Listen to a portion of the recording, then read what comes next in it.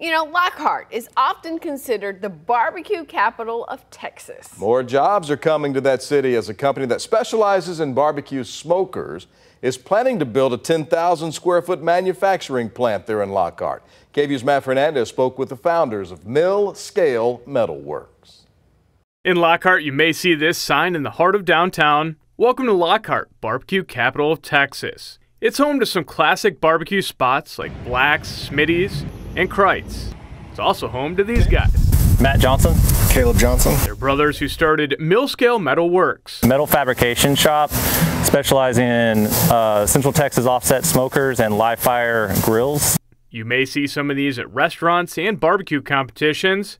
The business started in 2018. At a young age, they learned skills from their dad and at welding shops. Our skills for welding as well as found our path of, you know, finding this creative outlet through the trade.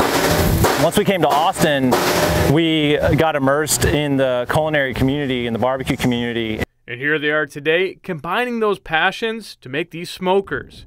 It starts here with decommissioned propane tanks. Right in front of us are the 1,000 gallon propane tanks. These are 500 gallon and then 250 gallon.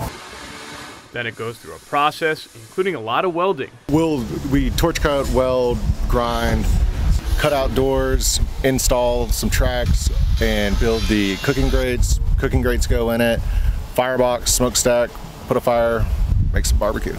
With the popularity of barbecue and the success of their business, Matt Johnson says its business is ready to expand out of their 2,400 square foot facility. Building a 10,000 square foot shop here in the heart of Lockhart, Texas, right next to Kreuz Market.